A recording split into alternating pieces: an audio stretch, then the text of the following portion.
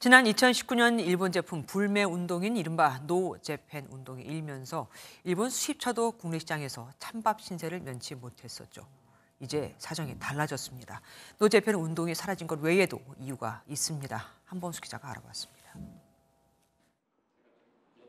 1억 원 안팎의 고가 차량을 주로 취급하는 일본차 매장입니다. 최근 차량 주문량이 급증하면서 전시실이었던 공간이 출고 대기 차량을 보관하는 창고로 바뀌었습니다. 일본 제품 불매 운동인 노저펜 당시 발길이 뚝 끊겼던 2019년과는 확연하게 달라졌습니다.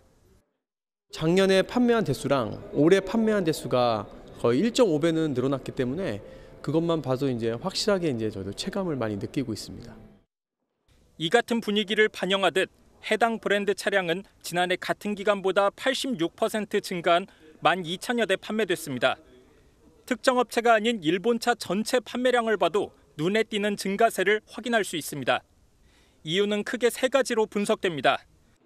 먼저 한일 관계 개선으로 노저팬 심리가 옅어진 것이 한몫하고 있습니다.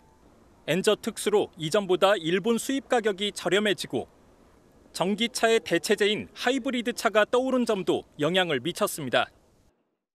일본 차는 다른 수입차와 비교해 하이브리드 기술의 강점을 가지고 있습니다.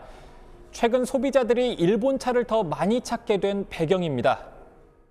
최소한 2년에서 3년 정도는 하이브리드 자동차 또는 플러그인 하이브리드 자동차가 인기를 끌 것으로 보고 있고요.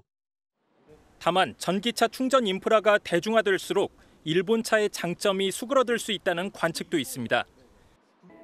올해 국내에선 독일 회사들이 7만 대 가까운 판매량을 기록하며 선두권을 유지했는데 일본차 업체가 수입차 시장 판도를 바꾸진 못할 것이란 분석도 나옵니다.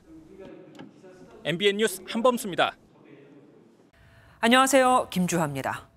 공정하고 신속한 MBN 뉴스 유튜브를 통해서도 만나보실 수 있습니다. 특히 더 많은 뉴스와 라이브를 보고 싶으시다면 오른쪽을 눌러서 구독하시면 됩니다. 어렵지 않죠? 빠르고 정확한 뉴스로 계속 찾아뵙겠습니다. MBN 뉴스를 시청해 주신 여러분 고맙습니다.